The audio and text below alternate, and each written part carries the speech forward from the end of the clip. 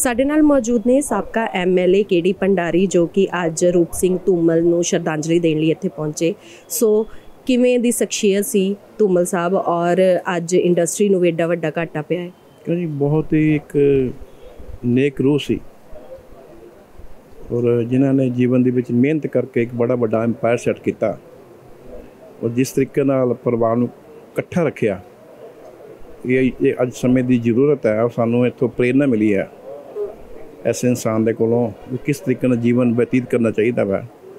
ਸਾਡੇ ਆਦਰਸ਼ ਸੀਗੇ ਇੱਕ ਬਹੁਤ ਵਧੀਆ ਇੰਡਸਟਰੀ ਸੀਗੇ।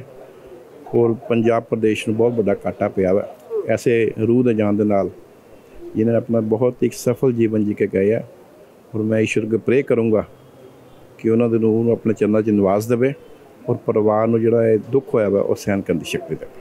ਜਲੰਧਰ ਦੀ ਇੰਡਸਟਰੀ ਨੂੰ ਕਿੰਨਾ ਕੁ ਘਾਟਾ ਪਿਆ ਉਹਨਾਂ ਦੇ ਜਾਣ? ਦੇਖੋ ਜੀ 12 ਗਰੁੱਪ ਚੱਲਦੇ ਇਹਨਾਂ ਦੇ। ਔਰ ਜਿਸ ਤਰੀਕੇ ਨਾਲ ਉਹਨਾਂ ਨੇ ਸਾਰੇ ਆਪਣੇ ਗਰੁੱਪਾਂ ਨੂੰ ਇਕੱਠਾ ਰੱਖਿਆ, ਉਹਦੇ ਹੈੱਡ ਸੀ ਬੌਸ ਸੀ ਉਹਨਾਂ ਦੇ।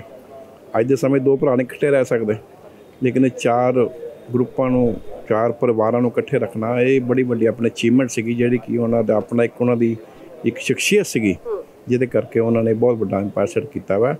ਇਹ ਸਾਨੂੰ ਇਹਨਾਂ ਤੋਂ ਉਦਾਹਰਨ ਲੈਣੀ ਚਾਹੀਦੀ ਹੈ। ਬਹੁਤ ਬਹੁਤ ਧੰਨਵਾਦ ਸਾਡੇ ਨਾਲ ਗੱਲਬਾਤ ਸਾਂਝੀ ਕਰਨ ਦੇ ਲਈ। ਸੋ ਇਹ ਸੀ ਕੇਰੀ ਪੰਡਾਰੀ ਜਿਹੜੇ ਕਿ ਅੱਜ ਸ਼ਰਧਾਂਜਲੀ ਦੇ ਫੁੱਲ ਪੇਟ ਕਰਨ ਦੇ ਲਈ ਆਏ ਸੀ ਰੂਪ ਸਿੰਘ ਧੂਮਲ ਨੂੰ ਜੋ ਕਿ ਇਸ ਫਾਨੀ ਸੰਸਾਰ ਨੂੰ ਅਲਵਿਦਾ ਕਹਿ ਚੁੱਕੇ ਨੇ। ਕੈਮਰਾਮੈਨ ਪਵਨ ਕਨੋਜੀਆ ਦੇ ਨਾਲ ਰਜਿੰਦਰ ਕੌਰ ਦੈਨਿਕ ਸਵੇਰਾ ਜਲੰਧਰ। ਸਾਡੇ ਨਾਲ ਮੌਜੂਦ ਨੇ ਸਾਬਕਾ ਐਮਐਲਏ ਕੇਡੀ ਪੰਡਾਰੀ ਜੋ ਕਿ ਅੱਜ ਰੂਪ ਸਿੰਘ ਧੂਮਲ ਨੂੰ ਸ਼ਰਧਾਂਜਲੀ ਦੇਣ ਲਈ ਇੱਥੇ ਪਹੁੰਚੇ। ਸੋ ਕਿਵੇਂ ਦੀ ਸ਼ਖਸੀਅਤ ਸੀ ਧੂਮਲ ਸਾਹਿਬ ਔਰ ਅੱਜ ਇੰਡਸਟਰੀ ਨੂੰ ਵੀ ਏਡਾ ਵੱਡਾ ਘਾਟਾ ਪਿਆ ਹੈ? ਕਿਉਂ ਜੀ? ਬਹੁਤ ਹੀ ਇੱਕ ਨੇਕ ਰੂਹ ਸੀ।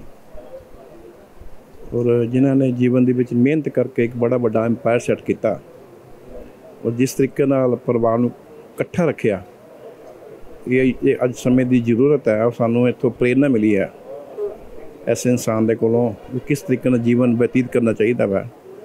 ਸਾਡੇ ਆਦਰਸ਼ ਸੀਗੇ, ਇੱਕ ਬਹੁਤ ਵਧੀਆ ਇੰਡਸਟਰੀ ਸੀਗੇ ਔਰ ਪੰਜਾਬ ਪ੍ਰਦੇਸ਼ ਨੂੰ ਬਹੁਤ ਵੱਡਾ ਘਾਟਾ ਪਿਆ ਵਾ।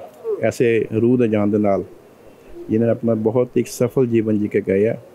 ਔਰ ਮੈਂ ਈਸ਼ਵਰ ਅੱਗੇ ਪ੍ਰੇ ਕਰੂੰਗਾ ਕਿ ਉਹਨਾਂ ਦੇ ਰੂਹ ਨੂੰ ਆਪਣੇ ਚਰਨਾਂ 'ਚ ਨਿਵਾਸ ਦੇਵੇ ਔਰ ਪਰਿਵਾਰ ਨੂੰ ਜਿਹੜਾ ਇਹ ਦੁੱਖ ਹੋਇਆ ਵਾ ਉਹ ਸਹਿਣ ਕਰਨ ਦੀ ਸ਼ਕਤੀ ਦੇਵੇ। ਜਲੰਧਰ ਦੀ ਇੰਡਸਟਰੀ ਨੂੰ ਕਿੰਨਾ ਕੁ ਘਾਟਾ ਪਿਆ ਉਹਨਾਂ ਦੇ ਜਾਣ? ਦੇਖੋ ਜੀ 12 ਗਰੁੱਪ ਚੱਲਦੇ ਇਹਨਾਂ ਦੇ ਔਰ ਜਿਸ ਤਰੀਕੇ ਨਾਲ ਉਹਨਾਂ ਨੇ ਸਾਰੇ ਆਪਣੇ ਗਰੁੱਪਾਂ ਨੂੰ ਇਕੱਠਾ ਰੱਖਿਆ ਉਹਦੇ ਹੈੱਡ ਸੀ ਬੌਸ ਸੀ ਉਹਨਾਂ ਦੇ।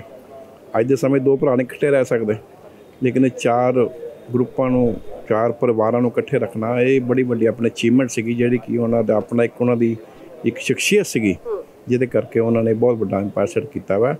ਇਹ ਸਾਨੂੰ ਇਹਨਾਂ ਤੋਂ ਉਦਾਹਰਨ ਲੈਣੀ ਚਾਹੀਦੀ ਹੈ। ਬਹੁਤ ਬਹੁਤ ਧੰਨਵਾਦ ਸਾਡੇ ਨਾਲ ਗੱਲਬਾਤ ਸਾਂਝੀ ਕਰਨ ਦੇ ਲਈ। ਸੋ ਇਹ ਸੀ ਕੇਰੀ ਪੰਡਾਰੀ ਜਿਹੜੇ ਕਿ ਅੱਜ ਸ਼ਰਧਾਂਜਲੀ ਦੇ ਫੁੱਲ ਪੇਟ ਕਰਨ ਦੇ ਲਈ ਆਏ ਸੀ ਰੂਪ ਸਿੰਘ ਧੂਮਲ ਨੂੰ ਜੋ ਕਿ ਇਸ ਫਾਨੀ ਸੰਸਾਰ ਨੂੰ ਅਲਵਿਦਾ ਕਹਿ ਚੁੱਕੇ ਨੇ। ਕੈਮਰਾਮੈਨ ਪਵਨ ਕਨੋਜੀਆ ਦੇ ਨਾਲ ਰਜਿੰਦਰ ਕੌਰ ਦੈਨਿਕ ਸਵੇਰਾ ਜਲੰਧਰ।